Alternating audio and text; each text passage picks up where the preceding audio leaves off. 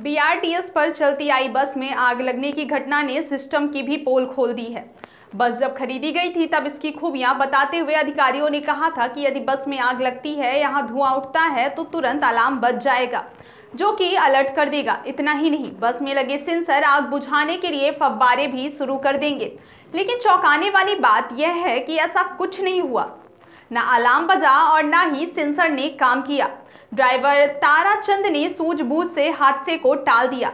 आई बसों का संचालन सुबह साढ़े छह बजे से शुरू होता है और रात को साढ़े ग्यारह बजे तक बस संचालित होती है। इसके बाद सुबह साढ़े पाँच बजे तक बसों का मेंटेनेंस होता है, जिसमें बारीकी से बस की जाँच की जाती है। पार्ट्स भी देखे जाते हैं, जिस बस में आग लगी। मेंटेनेंस के दौरान उसमें कोई गड़बड़ी नहीं निकलने की बात अधिकारियों ने कही है।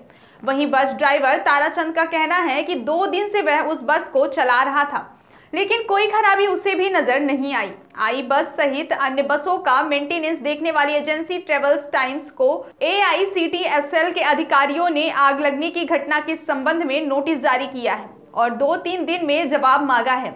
एजेंसी को यह बताना होगा कि आधुनिक बस होने के बावजूद उसमें आग कैसे लगी। साथ ही घटना के दौरान अलार्म और सेंसर ने काम क्यों नहीं किया। एजेंसी इस संबंध में बस निर्माता फर्म से भी चर्चा करेगी।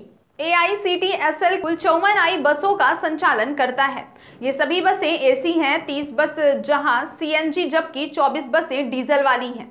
चार से छह बसों का बैकअप रहता है। इस तरह सड़क पर करीब 48 बसें संचालित होती हैं। आई बस का रोज़ाना बड़ी संख्या में लोग इस्तेमाल करते हैं। आंकड़ों में बात करें तो लगभग पैंसठ हज़ार यात्री रोज़ाना बस में सफ़र करते हैं। आई बस में ओवरलोडिंग भी एक बड़ी संख्या है।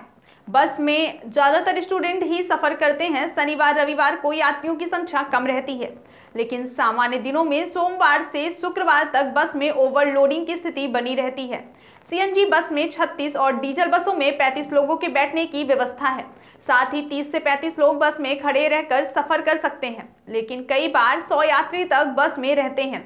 ओवरलोडिंग के कारण भी बसों में लोड बढ़ जाता है। मेंटेनेंस का काम देखने वाली ट्रेवल्स टाइम एजेंसी के अलावा एआईसीडीएसएल के अधिकारियों ने भी आग लगने की घटना के बाद अन्य बसों का सुपरविजन किया।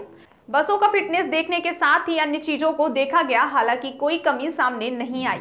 सभी आई बसों में सीसीटीवी कैमरे लगे हुए हैं। जिस बस में आग लगी, उसमें भी कैमरा लगा था, लेकिन आग लगने से वह जल गया। अधिकारियों ने जब फुटेज के लिए डीवीआर खंगाली, जिससे पता चल सके कि किस तरह आग लगी, लेकिन डीवीआर भी बुरी तरह जली हुई निकली।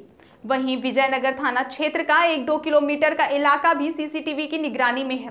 पुलिस ने बस में आग लगने के फुटेज निकालने के लिए डीवीआर देखी तो पता चला कि कैमरे भी बंद पड़े हुए हैं। बस स्टॉप पर लगे कैमरे में ज़रूर बस रुकने के बाद जाती हुई नज़र आ रही है। ए आई के सीईओ मनोज पाठक ने बताया कि घटना को लेकर मेंटेनेंस देखने वाली ट्रेवल्स टाइम एजेंसी को नोटिस जारी किया है और दो तीन दिन में रिपोर्ट मांगी है। उनसे पूछा गया है कि आग लगने की वजह क्या है। घटना के समय अलार्म क्यों नहीं बजा? साथ ही सेंसर ने भी काम क्यों नहीं किया? सर्व सुविधा युक्त नेशनल हॉस्पिटल समान तिराहा रीवा में। अब कैंसर का सफल उपचार और ऑपरेशन की सुविधा उपलब्ध है। हमारे यहाँ मिल रहा है आयुष्मान भारत निरामय योजना का लाभ। आयुष्मान जन आरोग्य योजना के तहत सभी प्रकार के मेडिक्लेम की सुविधा उपलब्ध है। हमारे यहाँ लेजर कैंसर, अस्थि रोग एंडोस्कोपी, लेप्रोस्कोपी एवं प्रसूति रोग का अनुभवी चिकित्सकों के द्वारा उपचार किया जाता है। कैंसर के इलाज एवं ऑपरेशन अब रीवा के नेशनल अस्पताल में उपलब्ध है।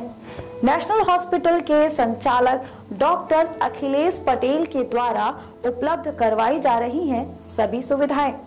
आयुष्मान से संबंधित किसी भी प्रकार की जानकारी के लिए संपर्क करें।